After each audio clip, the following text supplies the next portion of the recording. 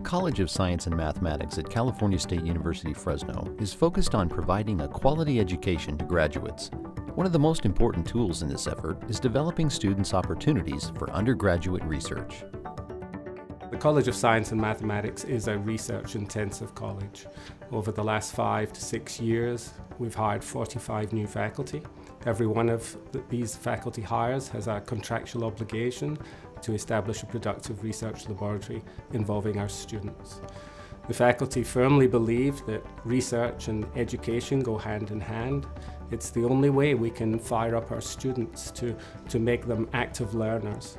We could spoon feed them information and they could come out at the other end with a lot of knowledge, but they've never really been turned on to what science means. And this is our way of, of making sure that our students are innovative thinkers and are ready for the challenges of this technology-rich workforce. In this highly competitive era of science and technology advancement, undergraduate research offers benefits that extend far beyond the accomplishments in the lab. As the advisor of the chemistry club, I often tell the students they need to get involved in research. And there's a lot of different benefits for doing that. First of all, you get one-on-one -on -one interaction with a faculty member. That means they get to evaluate your skills and your lab skills, your communication skills, and that's very important when you need a letter of recommendation to go to another graduate program or professional school or even to get a job. The second thing is you're building networks and interacting with other students in the lab. And so that helps. But also, um, the sense of confidence building that you get because you're doing something new and unique and you're having to figure it out on your own, but also it reinforces all the concepts that you learn in class in an applied manner. And I think that's what really makes a difference for most students to help reinvigorate them, to make them really, um, help them understand how much they really enjoy science and love it. Working here in the laboratory has really solidified the information presented to me in the classroom setting. Before working in the lab, um, in my studies, I would have to read the book from front to back. And I really couldn't visualize what I was learning because I'm a visual learner, as I'm sure many other students are. So once I started working in the lab, um, I saw that my grades were really being affected. Um, for example, Biology 1B is a class that takes a lot of time and a lot of studying time. And I was just doing so great because I knew all the techniques, I knew all the concepts because I'd actually done them here in the lab. I'd worked with cells, I had seen cells in the microscope, I had uh, transformed cells to make them transgenic. So concepts that were once so, I could say, complex to me became very simple in my mind. My research has been in inorganic chemistry, and that started well before I had to take the upper division chemistry classes. And when I got into those, they started talking about techniques and instrumentation and various tools that were used by chemists in research, and it was all about the theory. And I think that having used those before in undergraduate research, that it made it that much easier to understand and to be able to talk about them. And I really noticed a difference when I was in the classes learning about them, that it was that much easier. I have a, a few of the students, first they learn some from the um, classes. Indeed, they are a little bit underperformance and after they join the lab, they start seeing how the real physics can apply in the real world. They got really motivated and got really interested. So they, that overall improved their academic work.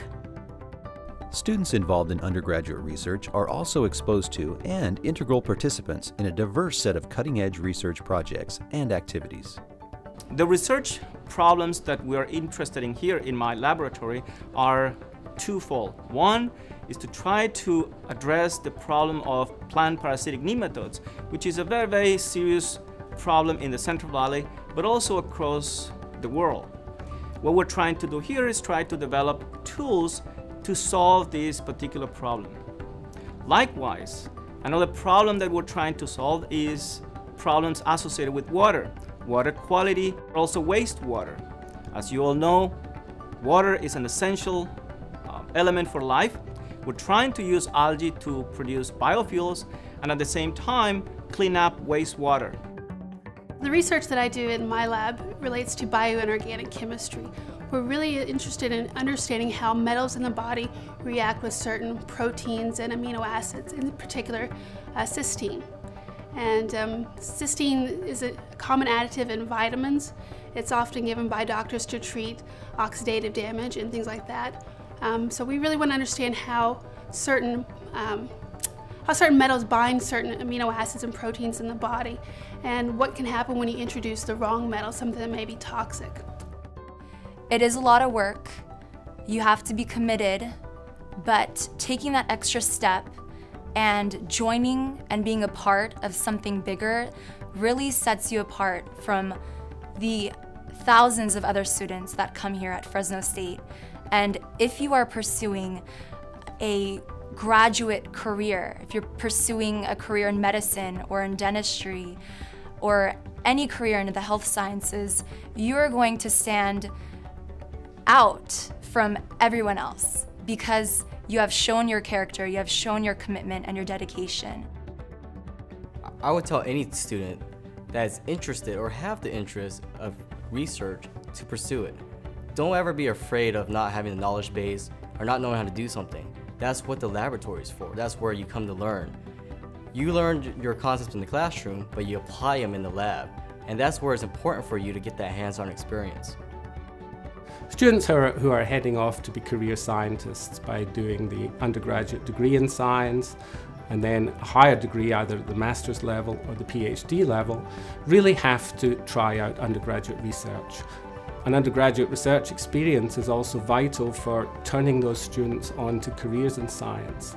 They, they can see the value of the kinds of research that is needed out there because we have scientists in the labs doing cutting edge research and those students are learning skill sets that they could never learn in the classroom and we hope that they are going to become the future leaders in the scientific areas that we urgently need.